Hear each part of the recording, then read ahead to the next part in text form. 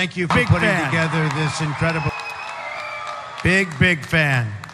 Let me start by stating right up front that if I'm elected president, the Indian and Hindu community will have a true friend in the White House that I can guarantee you, that I can tell you.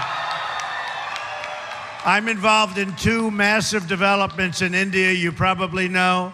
Very successful, wonderful, wonderful partners, very beautiful. And I must say, I became involved because I have great confidence, and I have great confidence in India.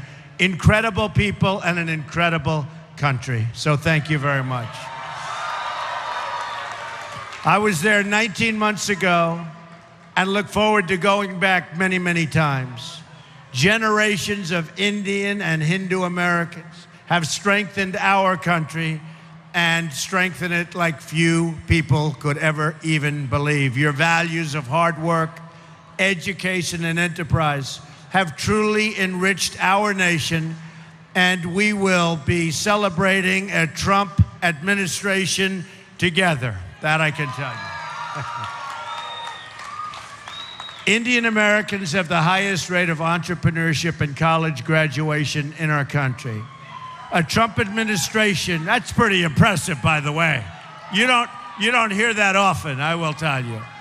A Trump administration will massively lower taxes for our small businesses, eliminating job killing regulations, and we will repeal and replace job killing Obamacare, which is a disaster. But as we all know, we can't have prosperity without security. And that is why we appreciate the great friend India has been to the United States in the fight against radical Islamic terrorism, a word that our president doesn't even use.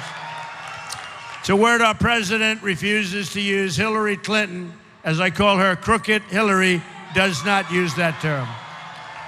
India has seen firsthand the brutality of terrorism and cross border violence, including the attacks in Mumbai. And I mean, look, Mumbai is a place that I love, it's a place that I understand. So, for all of the people in Mumbai, the attack on Indian Parliament, absolutely outrageous and terrible. We will defeat radical Islamic terrorism.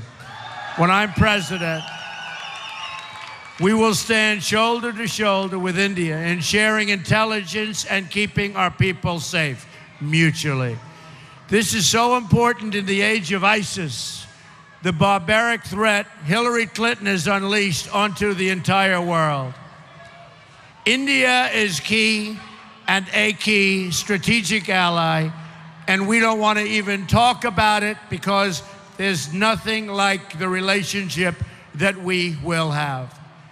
I look forward to deepening the diplomatic and military cooperation that is the shared interest of both countries.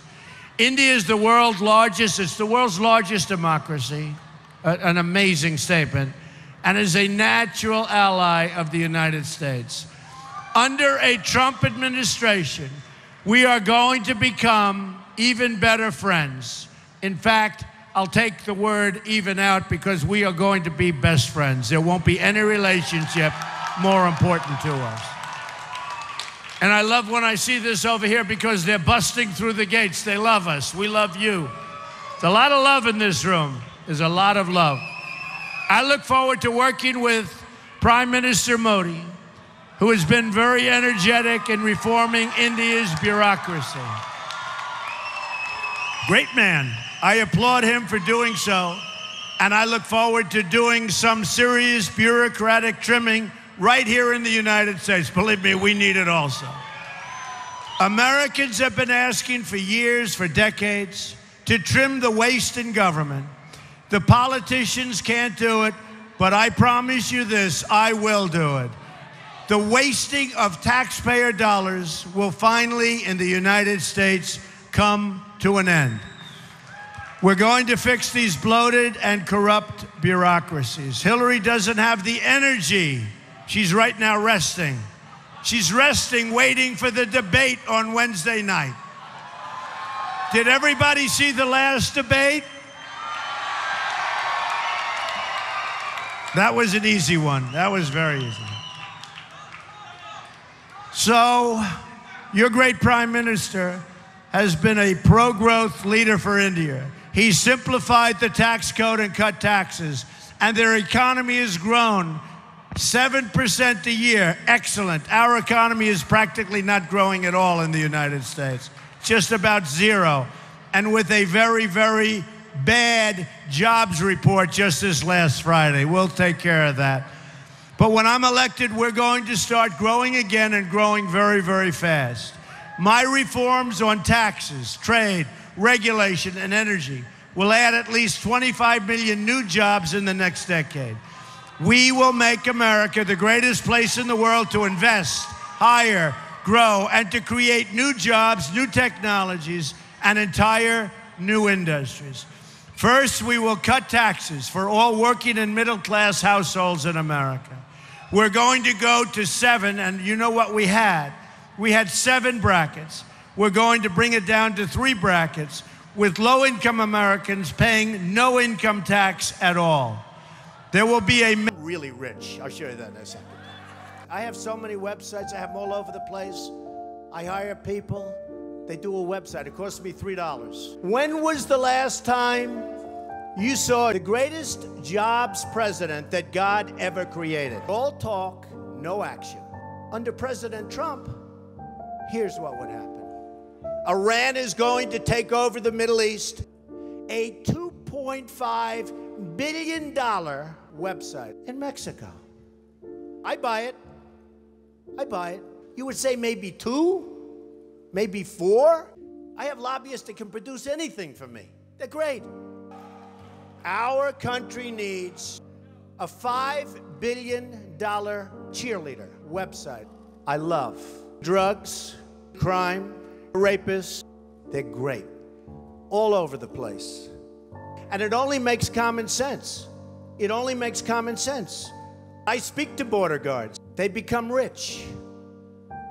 I'm in competition with them. They just built a hotel in Syria. Can you believe this?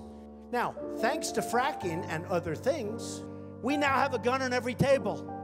We're ready to start shooting. I own a big chunk of the lobbyists, the donors, and the special interests fully. Biggest bank in the world you know where their United States headquarters is located? In this building, in Trump Tower. The American dream is dead. And we have nothing. Thank you. Thank you very much.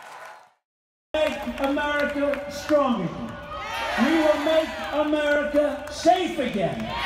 We will make America